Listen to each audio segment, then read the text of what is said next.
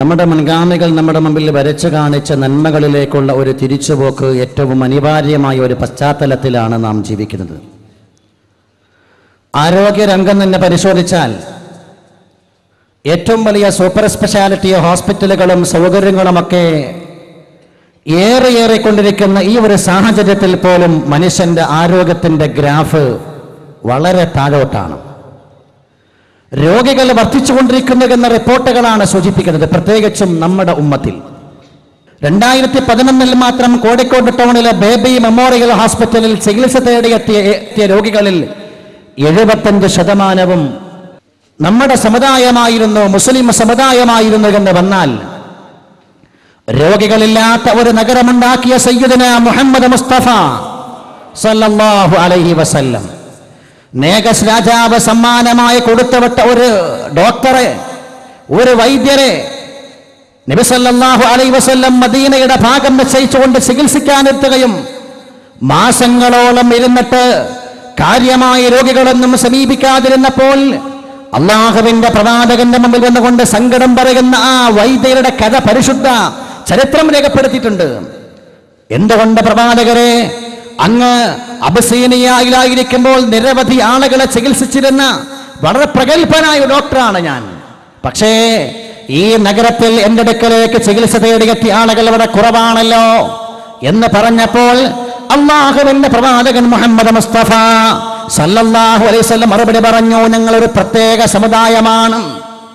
ഈ സമുദായത്തിന്റെ മേന്മകൾ എന്താണ് എന്നും ഈ സമുദായം ഉയർത്തിപ്പിടിക്കേണ്ട മൂല്യങ്ങൾ എന്താണ് എന്നും സയ്യുദന റസൂലുള്ളാഹി സല്ലല്ലാഹു അലൈഹി വസല്ലം പഠിപ്പിച്ചവെങ്കിൽ ഈ സമുദായത്തിനാണ് ഇന്ന് രോഗികളും ഏറിയ കൂടുതൽ എന്ന് മാത്രമല്ല ആരോഗ്യം ക്ഷയിച്ചുകൊണ്ട് പോകുമ്പോൾ പരിശുദ്ധ ഖുർആൻ പറഞ്ഞില്ലേ ഖുർആനി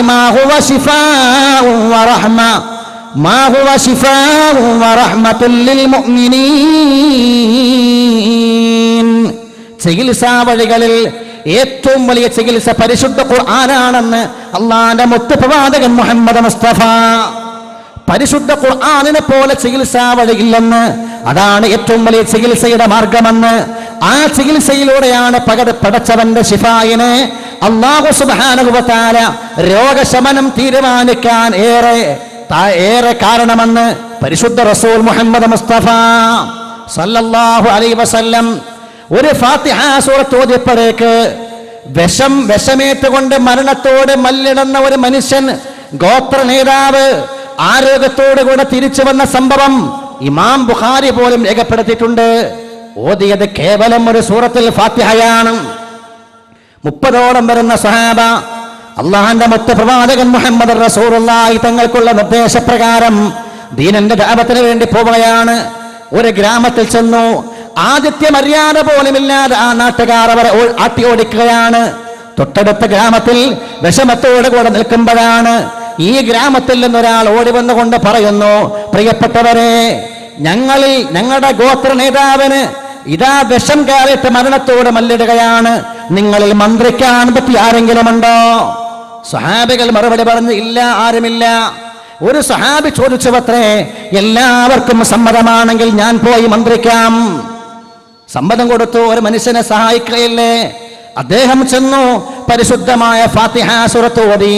ഫാത്തിഹ സൂറത്ത് ഓതി തീരുമ്പോഴേക്ക് വിഷം കയറി മരണത്തോടെ മല്ലിട്ട് കൊണ്ടിരുന്ന ആ സഹോദരൻ ഗോത്ര നേതാവ് ആരോഗ്യത്തോടെ കൂടെ എഴുതേറ്റ് നിന്ന് വന്ന് പരിശുദ്ധമായ സ്വഹീൽ ബുഖാരി രേഖപ്പെടുത്തിയ ഹദീസാണെങ്കിൽ നമ്മൾ മനസ്സിലാക്കണം ഒരു ഫാത്തിഹ കൊണ്ട് പോലും ഇത്ര വലിയ ശമനമുണ്ടാക്കാൻ ശിഫയുണ്ടാക്കാൻ സാധ്യമെങ്കിൽ അതേ തീർച്ചയാണ്. അത് അള്ളാഹുവിന്റെ കലാമാണ്. അള്ളാഹുവിന്റെ തീരുമാനമാണുള്ള ശിഫ.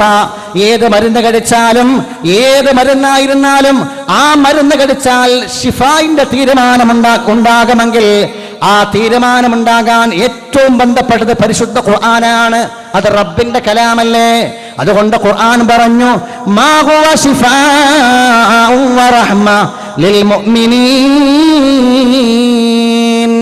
അപ്പൊ നമ്മൾ ചോദിക്കും പിന്നെ എന്തേ? ഞങ്ങൾ എത്ര ഫാത്യ ഓതുന്നുണ്ട്? എത്ര ഇഖ്ലാസ് സൂറത്ത് ഓതുന്നുണ്ട്? ഞങ്ങൾക്ക് ഇത് കൊണ്ടൊന്നും യാതൊരു മാറ്റവുമില്ലല്ലോ. കാലങ്ങളായി എനിക്ക് വല്ലാത്ത തലവേദനയുണ്ട്. എന്റെ തലവേദന മാറുന്നില്ലല്ലോ. അതേ പരിശുദ്ധ ഖുർആൻ ശിഫയാവുക. അള്ളാഹുവിൽ പൂർണ വിശ്വാസമുള്ളവർക്കാണെന്ന് പരിശുദ്ധ ഖുർആന്റെ സത്യസാക്ഷ്യമാണ്. മുഅ്മിനീങ്ങൾക്കാണ് ഈമാൻ രഹലകാർക്കാണ് പരിശുദ്ധ ഖുർആൻ ശിഫയായി മാറുക. ആ പരിശുദ്ധ ഖുർആനാണ് ഏറ്റവും വലിയ ശിഫയെന്ന് അള്ളാഹു തന്നെ സെർട്ടിഫൈ ചെയ്യുമ്പോൾ ഇന്ന് ചികിത്സാ മേഖലകളിൽ പ്രത്യേകിച്ചും ആത്മീയ ചികിത്സയാകുന്ന പരിശുദ്ധ ഖുർആൻ കൊണ്ടും സ്വലാത്തുകൾ കൊണ്ടും ഖുർആൻ കൊണ്ടും ചികിത്സിക്കപ്പെടുന്ന സാഹചര്യമുണ്ടോ? അത്തരം ചികിത്സകളൊക്കെ അത് പരിശുദ്ധ ഇസ്ലാമിന് പുറത്തു പോകുന്ന കാര്യങ്ങളാണെന്ന് പോലും ചിലർ ജൽപ്പിക്കുമ്പോൾ പരിശുദ്ധ ഖുർആന്റെ പ്രഖ്യാപനം റസൂലിന്റെ വാക്ക് അതാണ് ഏറ്റവും വലിയ ശിഫയുടെ വഴിയെന്നാണ് അതിൽ നിന്നെല്ലാം മുസ്ലിം ഉമ്മത്താകുന്ന മേറെ പിറകോട്ട് പോയി. മാത്രമല്ല ഏത് വിഷമഘട്ടങ്ങളെയും തരണം ചെയ്യാൻ അള്ളാഹു പഠിപ്പിച്ച വഴി പരിശുദ്ധകാരകളാണ് അബ്ദുല്ലാഹിൽ ഹദ്ദാത്തങ്ങൾ മഹാനവകൾ ജീവിച്ചിരിക്കുന്ന കാലഘട്ടം മഹാന്റെ മുമ്പിൽ വന്നുകൊണ്ട് നാട്ടുകാരുടെ പരാതി മഹാനവറുകളെ രാജാക്കന്മാർ അധികാരം നടത്തുന്ന ആളുകൾ നമ്മെ വല്ലാതെ ബുദ്ധിമുട്ടിച്ചുകൊണ്ടിരിക്കുന്നു മുസ്ലിങ്ങളെ വല്ലാതെ പീഡിപ്പിച്ചുകൊണ്ടിരിക്കുന്നു അബ്ദുല്ലാഹിൽ ഹദ്ദാദ് റളിയല്ലാഹു താലാനു മഹാനവറുകൾ അവിടെ ഇരുന്നു കൊണ്ട് പരിശുദ്ധ ഹദീസിന്റെ അടിസ്ഥാനങ്ങളിൽ പരിശുദ്ധമായ ദിക്റുകളെന്ന് ക്രോഡീകരിക്കുകയാണ്. നാം ഇന്ന് ഹദ്ദാദ് റാത്തീബ് എന്ന് വിളിക്കുന്ന ആ റാത്തീബ് അതൊക്കാറിന്റെ സമാഹാരം ബഹുമാനപ്പെട്ട അബ്ദുല്ലാഹിൽ ഹദ്ദാത്തങ്ങൾ ക്രോഡീകരിച്ച് നാട്ടുകാരോട് ചെല്ലാൻ പറയുകയാണ്. മുസ്ലിമീങ്ങളുടെ മേൽ അധികാരികൾക്കുള്ള ആക്രമണങ്ങളും അവർക്കുള്ള വിഷമങ്ങളും കൂടി വന്നപ്പോൾ മഹാനരകുണ്ടാക്കിയ വഴി പരിശുദ്ധ അത് കാരാണെന്നും ചരിത്രം പഠിപ്പിക്കുകയാണ്. എന്ന് വന്നാൽ മുസ്ലിമിന്റെ രക്ഷാ കവചമായി പരിശുദ്ധ ഇസ്ലാം മുന്നോട്ട് വെക്കുന്ന ഖുർആനിൽ നിന്ന് പരിശുദ്ധ കാറുകളിൽ നിന്ന് പരിശുദ്ധ റസൂൽ മുഹമ്മദ് മുസ്തഫ തങ്ങൾക്കുള്ള സ്വലാത്ത് സലാമകളിൽ നിന്ന് ഏറെ പിറകോട്ട് പോകുന്ന സാഹചര്യമല്ലേ എന്ന്. നിബിതങ്ങളെ സ്നേഹത്തോടെ കൂടെ മനസ്സിന്റെ ഉള്ളിന്റെ ഉള്ളിൽ നിന്ന് സ്നേഹാധിക്യത്തോടെ കൂടെ നാം ചൊല്ലുന്ന ഒരുപാട് വചനങ്ങൾ മൻകോസ് മോരുതിൽ പോലും കാണാം. അന്തോ ബൈനന ഫിൽ കവാകിബി കൽബുദൂർ ബൽ വഅശ്റഫു മിൻഹു യാ സയ്യിദി ഖൈറൻ നബി അസ്സലാത്തു അലൻ നബി والسلام على الرسول الشفيع الأبتحي والحبيب العربي പരിശുദ്ധ മദീനയിൽ കിടക്കുന്ന മുഹമ്മദ് മുസ്തഫ തങ്ങളെ നേരിട്ട് വിളിച്ച് എന്റെ ഹബീബായ എന്റെ സയ്യിദായ നബി തങ്ങളെ എന്ന് വിളിച്ചുകൊണ്ട് പറയുന്നു നക്ഷത്രങ്ങൾക്കിടയിൽ അങ്ങ് പൂർണ ചന്ദ്രനെ പോലെ തിളങ്ങുകയാണ്. ഞങ്ങളുടെ മനസ്സെന്ന മാണിക്യ കൊട്ടാരത്തിൽ അങ്ങ് തിളങ്ങുകയാണ്. അങ്ങ് അങ്ങ് പ്രഭയ ശോഭ ശോഭ ശോഭ ചൊരിഞ്ഞുകൊണ്ടിരിക്കുകയാണ്. ബൽ അല്ല. അതിനേക്കാൾ നന്നായി അതിനേക്കാൾ തിളക്കത്തിൽ അതിനേക്കാൾ ശോഭയോടെ കൂടെ അങ്ങ് പ്രകാശം ചൊരിയുന്നുവെന്ന് ഇഷ്കോട് കൂടെ മഹബത്തോടെ കൂടെ ചൊല്ലേണ്ട വചനങ്ങളായത് أنت أم أم أبو ما رأينا فيهما مثل حسنك قط يا سيدي خير النبي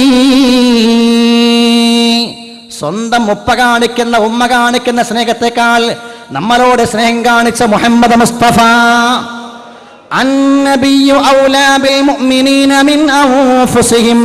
നമ്മുടെ നഫ്സുകൾക്ക് നമുക്ക് തന്നെ ഉണ്ടാകുന്ന സ്നേഹത്തെക്കാളും വലിയ സ്നേഹമാണ് മുത്ത് റസൂലിൻ നമ്മളോടുള്ളത്. നമ്മെ അത്രമേൽ സ്നേഹിക്കുന്ന മുഹമ്മദ് മുസ്തഫ നമുക്ക് സ്വന്തം നഫ്സിനോട് എത്ര സ്നേഹമുണ്ടോ അതിനേക്കാളും വലിയ സ്നേഹം. ഉമ്മ കാണിക്കുന്ന സ്നേഹത്തെക്കാൾ ഉപ്പ കാണിക്കുന്ന സ്നേഹത്തെക്കാൾ വലിയ സ്നേഹം. എല്ലാ രംഗത്തും ഉമ്മത്തിന്റെ നിലനിൽപ്പിന് വേണ്ടി ഉമ്മത്തിന്റെ രക്ഷയ്ക്ക് വേണ്ടി നിലകൊണ്ട മുഹമ്മദ്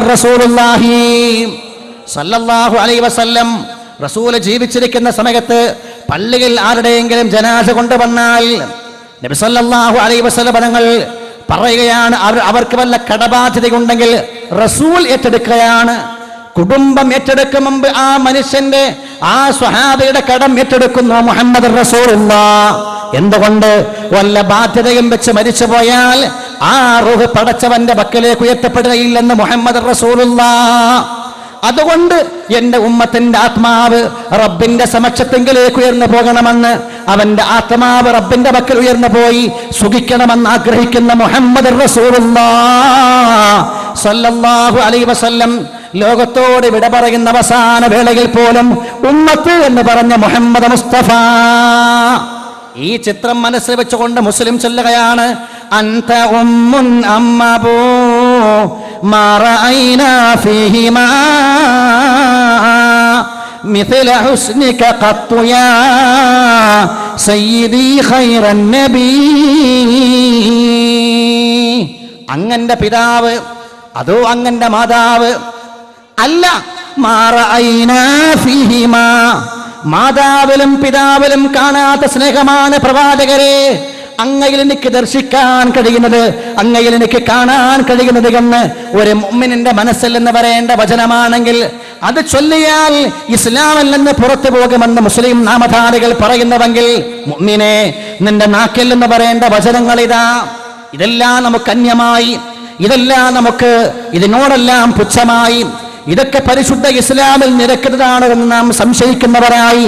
അങ്ങനെ വന്നപ്പോൾ സമാധാനമില്ലാതെ ശാന്തി കെട്ട് ഏറ്റവും വലിയ വിഷമങ്ങളിലൂടെ പ്രയാസങ്ങളിലൂടെ നാം നടക്കുന്നവെങ്കിൽ മുന്നോട്ട് പോകുന്നവെങ്കിൽ ഇതിനെല്ലാം ഒരു പ്രതിവിധിയായി പരിശുദ്ധ ഇസ്ലാം നിർദ്ദേശിക്കുന്ന വഴി ഈ സ്വലാത്തകളാണ്. ഈ സലാമകളാണ് ഈ അധികാറുകളാണ് പരിശുദ്ധ ഖുർആനാണ്. അള്ളാഹു തോഫീഖ് നൽകുമാറാവട്ടെ.